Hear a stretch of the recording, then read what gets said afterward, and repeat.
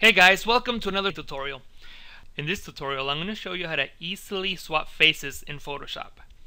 We're going to use the face of this woman here, and we're going to place it in this man's body. To do so, I'm going to click on the lasso tool, or you can just press L on your keyboard and draw a selection around the woman's face. Like so. And when you're drawing the selection in your image, make sure that you keep any crease that you have on the person's face. So for example, some people might have a, a crease here uh, next to the lip or in the nose or maybe even here in the cheeks. Make sure you keep all the creases of the face that you're selecting. And actually I'm going to hold shift and I'm just going to select that part there just because I, I missed the spot there.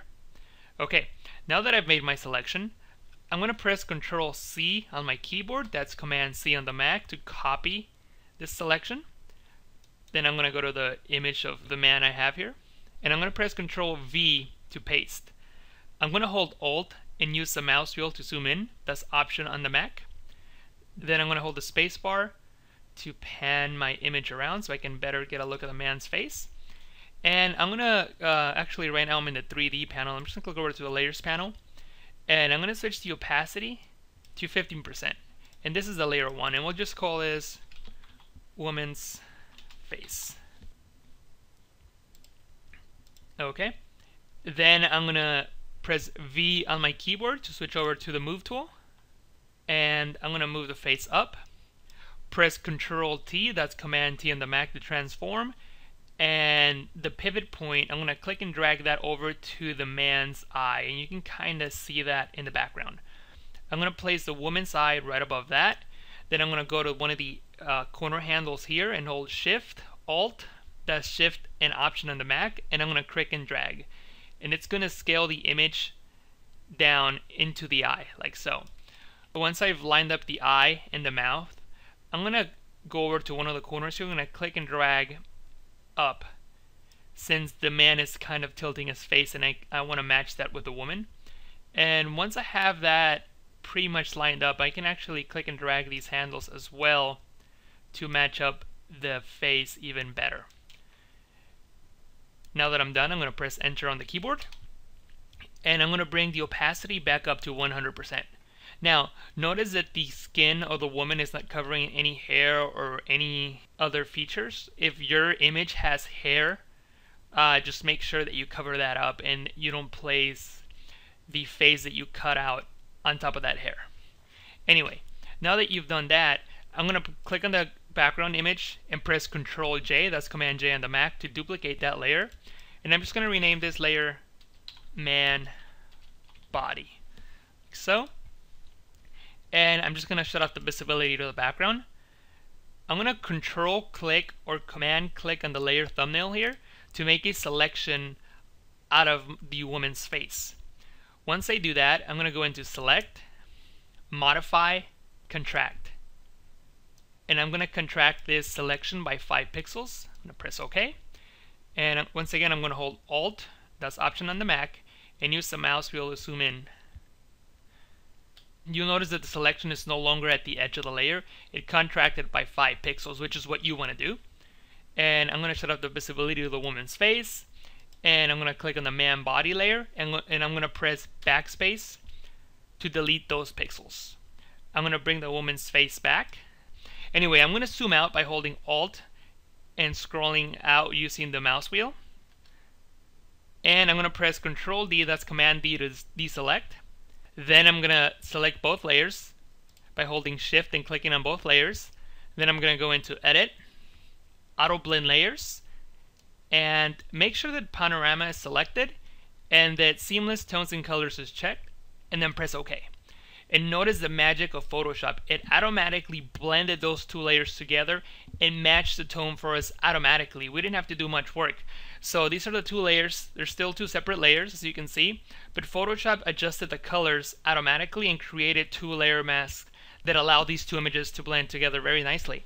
So I'm just going to press Control G on my keyboard, Command G on the Mac to make that into a group. And I'm going to turn on the visibility to the background. So this is before and this is after. I'm, I'm going to zoom out uh, all the way actually so you can see what this looks a little bit better. actually zoom out about there. And before and after. Before and after. So as you can see, Photoshop did a great job. And Photoshop is so good at doing this that you don't even have to use a person with a similar skin tone. For example, if we use a person with a darker complexion, like this woman here, Photoshop will actually match that as well. Uh, one thing though, this uh, lady here has highlights that I do want to keep. So I'm going to edit this a little bit after I paste it. So I'm going to go to edit, copy to copy this selection, same one, same one I used before. I'm going to paste it there. I'll do the same thing and I'll go a little bit faster since you already saw what I did just a few moments ago. So I'm going to set that to 50%. Move the pivot point to the eye. Match the other late, the other woman's eye. And then hold Shift and Alt. That's Shift and Option on the Mac. And I'm going to use the handles here to match the face just a little bit better, like so. And I'm going to bring the, the opacity back to 100%. I'm going to use the eraser tool, and I'm just going to select a hard brush here, and I'm going to erase, oops, you see that I actually erased too much in the other eyebrow of the other person came out, so I'm just going to press Control Z to undo that. And I'll try that again. Actually, I'll bring the opacity down just a little bit so I can see where the eyebrow is, and I can, actually I'm going to zoom in here I'm going to press E to bring back the eraser. And, oops, again I did a little too much. And there we go. And I want more of this highlight on the original uh, face's forehead, so which is why I'm deleting a little bit of the forehead. And there's also a highlight here on the original person that I don't really want, so I don't really need. And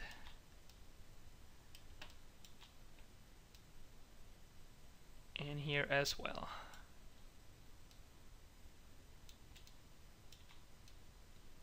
Okay, now that I've done that, I'm going to hold Alt and use the mouse wheel. I'm going to scroll back so I can zoom out. And this is the face, and we'll do what we did before. Press Control or Command click on the layer thumbnail to select it. Press Control J, that's Command J on the Mac to do, oops, sorry about that. I accidentally duplicated the layer 1 because that's selected. So I'm going to press Control D to deselect it then I'm going to click on the background group and press Control J to duplicate it. And Control click on the layer thumbnail to select the, the top face. And click on the background copy. And I'm going to shut off the visibility to the background layer actually. And then I'm going to go into Select, Modify, Contract by 5 pixels. And I'm going to hit Delete on the keyboard to delete those pixels. I'm going to bring the opacity back up to 100% on the layer 1 there. And before I merge these two together, I'm going to make a duplicate copy of that. So I'm going to press Control J to duplicate that face. So then I'm going to select layer 1, background copy. I'm going to go into Edit, Auto Blend Layers, make sure I, Panorama is selected and Seamless Tones and Colors is checked, and press OK. And notice again what a wonderful job Photoshop did of matching the skin tone of this woman. Now, even though Photoshop did a great job, in order to match skin tone, the eyes got a little washed out and they're not looking as good. And the lips are a little bit washed out as well. Well, that's the reason why we created this second layer so we can use the colors of this layer for the background layer there. So what I'm going to do is I'm going to hover over the layer mask icon. I'm going to hold Alt, which is Option on the Mac, and click and it's going to create a new layer mask that's set to black which hides everything. So then I can use the brush tool by clicking on the brush tool icon or pressing B and selecting a soft brush something like that something that's about 35 pixels in my case and set the foreground color to white. So I'm just going to press D on my keyboard for that and I can bring in some of the lightness of the eyes again like so and we can bring some of the color of the lips back to maybe not too much. Maybe that's too that's too bright. So what we can do is we can just fade that. So I can go into edit fade brush tool and I can fade that a little bit. So it, it kind of brings back some of that pink that she had on her lips. Then I'm going to press OK. And I'm going to hold alt and use the mouse wheel to zoom out. And you can see what a great job Photoshop did of aligning these two layers together. Now, in your screen, you might see a line that's going through here around where we mask the face. That's really not there. That's just a glitch that Photoshop has when it's got two masks and you're zoomed out at a weird percentage like 60.775 but if we do something like 75% and press enter notice that line is gone. Uh, I'm gonna group all these and I'm gonna put all these into one group and press control G.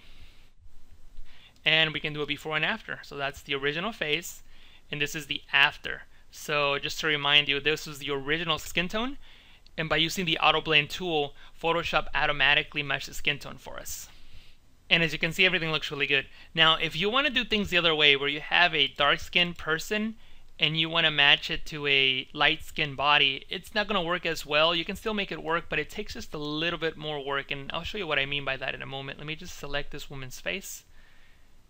And once I have the face selected, I'm going to press Control C to copy that and make sure that the background layer is selected, by the way. Control C, that's Command C in the Mac. And paste that there. And I'm going to bring the opacity out just a little bit. And I'm going to press Control T to transform and I don't really need to do the pivot point that I was that I used before just because the two faces are pretty much the same size here. But anyway, once once I've matched the faces, I'm going to do what I've been doing before by clicking Control on the thumbnail to select all the visible pixels, going to select, modify, contract 5 pixels and I'm going to duplicate this and I'm going to press backspace on the keyboard to get rid of those pixels. I'm going to hide the visibility of the background so you can see that I've deleted the pixels there. Select both layers, go into edit, auto blend layers, and I'll just press OK. Now, going to press Control D to deselect. Now, Photoshop again did a great job in matching the skin tone, but since Photoshop had to lighten up this woman's skin, it also lined up the eyes and the lips. So you kind of have to do what we did before and duplicate this layer before doing the merge. And maybe play around with a curves adjustment layer just to give things a little more contrast. Just because the darks in the image are going to be really washed out. But anyway, you can clearly see the power of Photoshop's auto merge. I mean, it's just amazing how it matches everything. This is not only good for swapping faces, you can actually add other features of other people onto faces, for example, a mustache. I created this off camera, so as you can see, it's just the same technique. I used a mustache that I cut out of a body of a different man, and I used the auto blend to blend the images together, and it looks like this mustache belonged to that woman. If I zoom in, you can clearly see that the hair is going over the woman's lips. So things look a little bit more realistic if we blend them together appropriately. And that's it for this tutorial guys. I really hope you enjoyed it. Thank you for watching and I'll talk to you next time.